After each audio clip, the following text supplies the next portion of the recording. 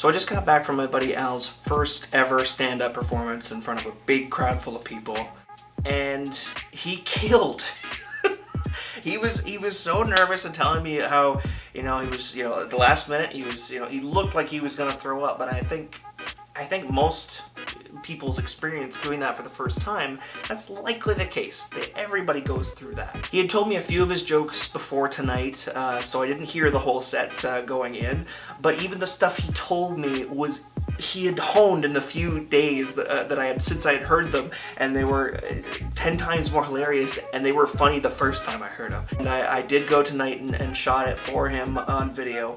Um, I'm not to release the whole video. He killed. He went up there, and just I think the first reaction that he got, instant feedback. The only, probably the only medium out there where your feedback is immediate. You could tell he really sunk right into it. He didn't flub a line, he didn't flub a joke, he told everything.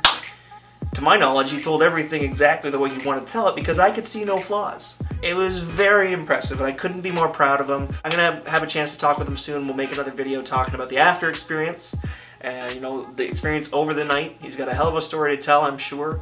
Um, and uh, you guys, you gotta come and check him out sometime. He will, I know he will do the Pro-Am night again at Absolute Comedy on Wednesday nights, 8.30, 6 bucks. Uh, you gotta come check it out. Well done, Al Babcock. I'm gonna show you only one joke to give you an idea of how it went down. Dads are like boomerangs, I hope.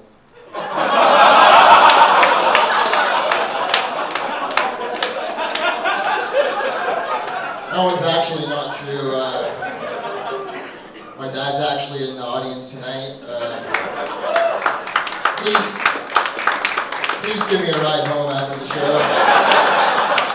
That's my time, guys. Yeah.